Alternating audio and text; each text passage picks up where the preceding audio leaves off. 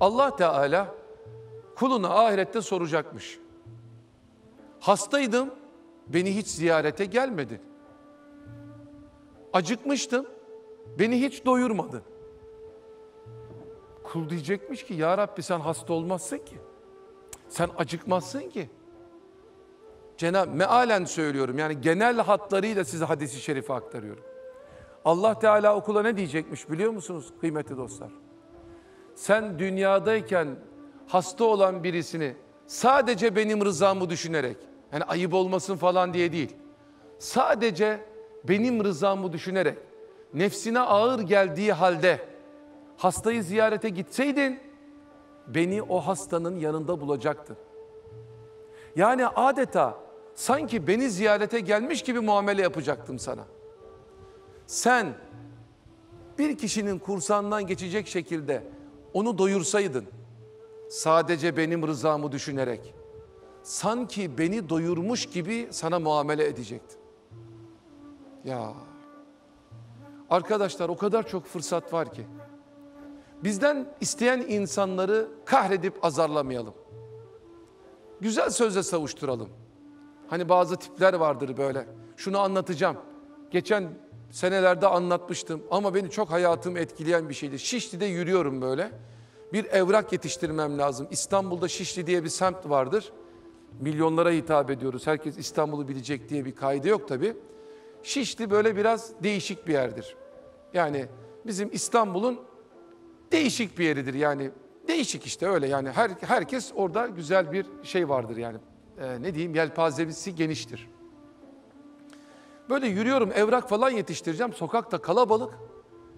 Bir tane kadın böyle şurada duruyor karşımda bana döndü sadaka falan dedi. Ben işte üstümde de bozuk para falan yok bir de evrak yetiştireceğim. Abla müsait değilim dedim yanından geç, geçiyorum.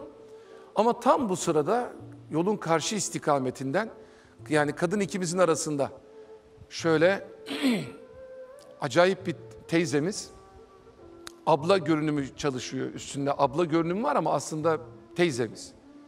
Yani o şekilde böyle bir kürk içerisinde ama şu vaziyette nasıl bir şeyse o dalgalanıyor. O kürk içerisinde şöyle yürüyor.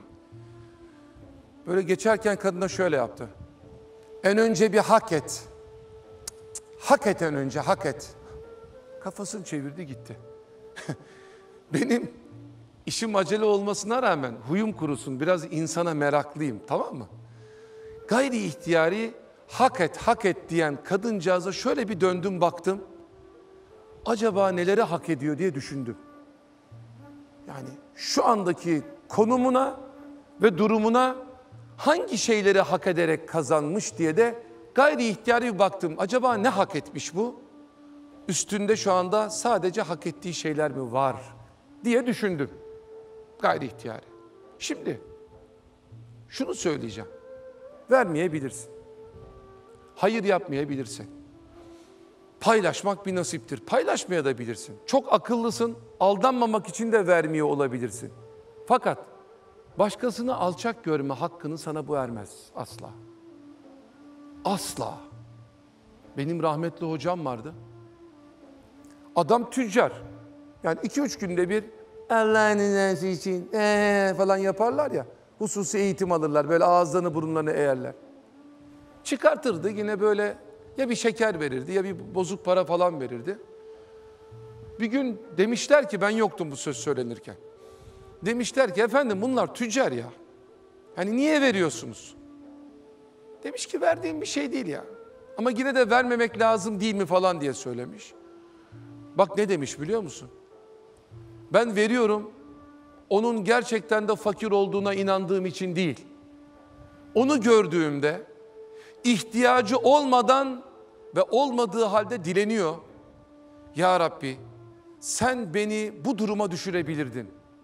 Ama bana verdiğin imkan, ilim ve iman sayesinde ben insanları kandırmak için böyle bir zillete düşmedim. Ama bu benim tercihimle sınırlı değil. Sen bana bunu lütfettin. Bana böyle bir şey lütfettiğin için bunun sadakası ve şükrü olarak işte şimdi veriyorum diyorum ve veriyorum.